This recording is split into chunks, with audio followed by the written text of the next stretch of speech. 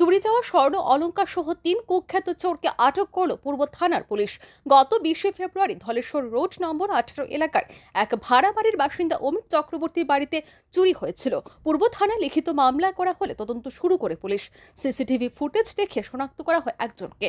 দীপ ভট্টাচার্য নামে সে চোরের খোঁজে শুরু হয় তদন্ত। রাজধানীর জয়নগর এলাকা দশমী ঘাটে ভাড়া থাকতো সে, কিন্তু ঘটনার পর থেকে পলাতক। গোপন সূত্রে পাওয়া খবরের ভিত্তিতে গত পরশু অর্থাৎ শনিবার বিকেলে তাকে গ্রেফতার করে পূর্ব থানার পুলিশ। জিজ্ঞাসাবাদের পর চুরির ঘটনা স্বীকার করে নিয়েছে দীপ ভট্টাচার্য। তাকে সাথে নিয়ে ঘটনাস্থলে গিয়ে বাড়িটিও শনাক্ত করিয়েছে পুলিশ।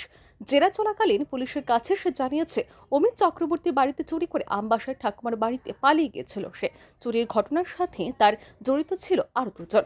দীপক সূত্রধর আর আরিয়ান সরকার নামে সেই দুই চোরকেও সোমবার সকালে আটক করেছে পুলিশ। রাজধানী এনসিসি থানা এবং আমতলী থানার বেশ কিছু চুরির মামলা রয়েছে তাদের বিরুদ্ধে।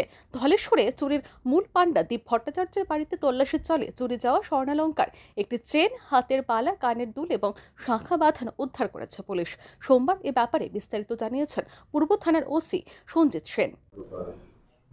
ফেব্রুয়ারি মাসে কুড়ি তারিখ, রাত্রেবেলা ধলেশ্বরে, রোড নাম্বার আঠারোতে এখানে অমিত চক্রবর্তী একজন লোক ভাড়া থাকেন। ওনার বাড়িতে একটা চুরি হয়েছিল। তো আমাদের থানাতে একটা কমপ্লেন দাখিল করে আমরা একটা চুরির কেস রেজিস্টার করেছি। তো তখন থেকে আমাদের অফিসার্স এবং স্টাফ ওই চুরির কেসটাকে রিকভারি করার জন্য পিছনে লেগে আছে।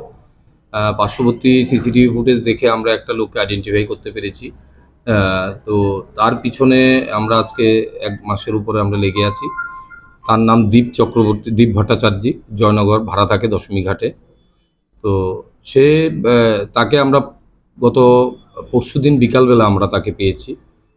পাওয়ার পর তাকে আমরা উঠিয়ে এনেছি। জিজ্ঞাসাবাদ করার পর জানা গেছে সে স্বীকার করেছে ওই বাড়িতে চুরি করেছে এবং বাড়িটা সে তাকে নিয়ে গিয়ে আমরা আইডেন্টিফাইও করেছি যে বাড়িটাতে চুরি করেছে। তো চুরি করার পর সে এখান থেকে আমবাসাতে তার ঠাকুমার বাড়ি আছে, ওখানে চলে গেছিল। তো ওখান থেকে আসার পরে তাকে তুলেছি। জিজ্ঞাসাবাদ করার পর সে স্বীকার করেছে। তার সাথে দীপক সূত্রধর এবং আয়ন সরকার, আরিয়ান সরকার বলে আরও দুজন আছে তাদেরও আমরা উঠিয়েছি।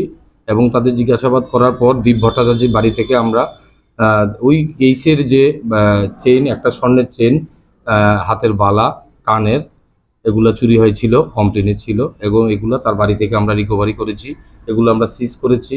তাদের আজকে আমরা কোর্টে প্রেরণ করব তাদের জিজ্ঞাসাবাদ করার পর দেখব আর কেউ জড়িত আছে কিনা বা অন্যান্য যে কিছু কিছু ইনসিডেন্ট হচ্ছে, এগুলোতে কোনো ইনভলভেন্সি আছে কিনা সেটা আমরা দেখব।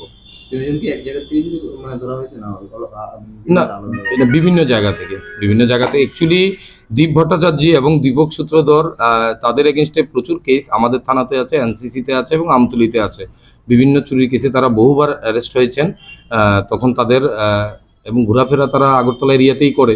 তখন তার স্টেটমেন্ট অনুযায়ী তাদেরও আমরা উঠিয়েছি। এ তিন চোরকে জিজ্ঞাসাবাদ চালিয়ে রাজধানী আরও বেশ কিছু চুরির কিনারা হবে বলে আশাবাদী পূর্ব থানার police. Bureau Report or emails.